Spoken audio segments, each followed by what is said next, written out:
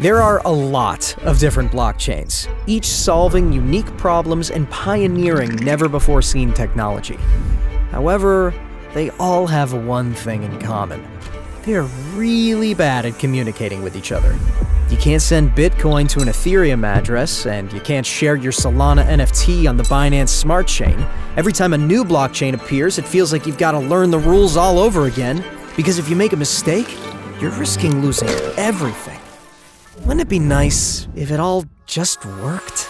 Seamlessly and across networks. Pick any asset, any address, and just hit send. The rest gets sorted automatically. That's exactly how we feel at Fincor. That's why we've developed our Proof of Unity consensus mechanism that's able to interact with any existing network, no matter if it's proof of work, proof of stake, or something new entirely. The Proof of Unity consensus works like an AI powered translator. It listens, logs, and then translates, making true cross chain communication possible. And the best part? All transactions are logged into their native chains. Web 3.0 belongs to the people.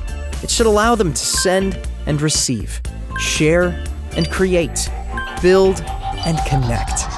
So it's time to break down the wobbly bridges that are currently holding up Web 3.0 and just make it work.